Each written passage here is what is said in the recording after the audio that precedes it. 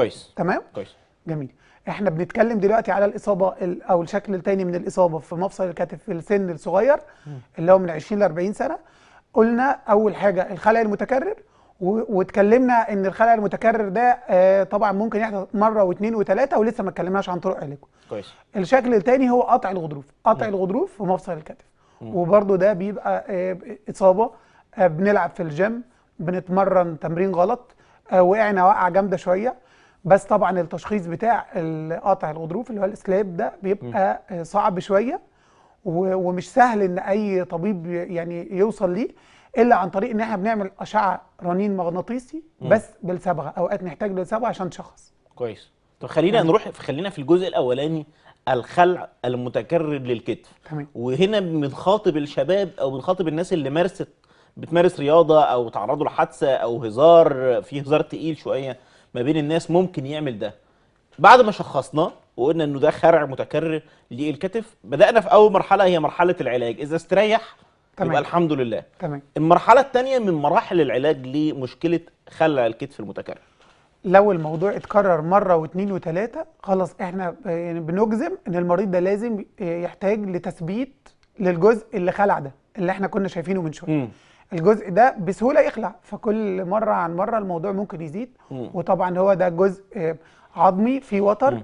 ولكن مرة واثنين وثلاثه إصابة ممكن يأثر على طبقة الغضاريف يأثر على آه، يعني آه، ثبات الأوتار أو ثبات المفصل ويأثر على الحاجات اللي حواليه. تمام؟ مم.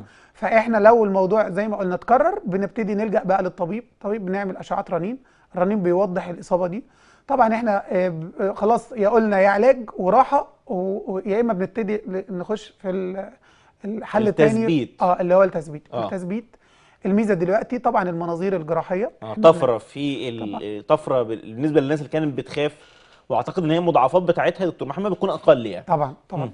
إحنا بندخل عن طريق المنظار المنظار فتحة صغيرة جدا يعني تكاد تكون سنتي مثلا. ما فيهاش تشوه بنت- آه. للكتف ما فيهاش فتحة كبيرة تشوه آه. والرجوع بيبقى أسهل. مم. يعني إحنا لما بندخل نثبت بندخل بالمنظار فتحتين فتحة للمنظار وفتحة للآلة اللي بنشتغل بيها. كويس. بنركب حاجة اسمها انكرز أو خطاطيف جراحية.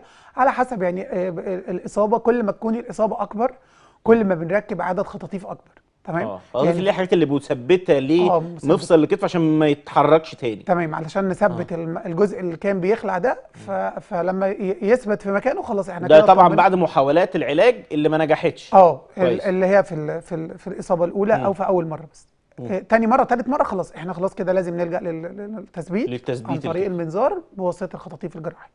طبعا بعد ما بنعمل عملية بننصح طبعا ال- المريض إن هو بيقعد من أربع لست أسابيع آه، معلق دراعه أو مريح دراعه علشان طبعا ال- الجزء اللي اتثبت ده زيه زي أي كسر. إحنا بنعتبره دلوقتي ككسر. آه، ثبتناه بشريحة ومسامير. لا إحنا هنا ثبتناه بخطاطيف فيرجع الجزء ده في مكانه ويثبت آه، في الفترة اللي هي شهر شهر ونص. وبعد كده نبتدي نعمل علاج طبيعي آه، نحسن بيه حركة العضلات والأوتار فيبتدي المريض يرجع للايه للحياة الطبيعية بتاعته. كويس. يعني في الخلع المتكرر عندنا شقين. الشق الأول هو شق علاجي. وبعد كده هو شق الخطاطيف أو ال ال بنثبت مفصل الكتف عشان ما يأثرش بعد كده على الغضاريف وما يأثرش على حركة الكتف بعد كده. تمام.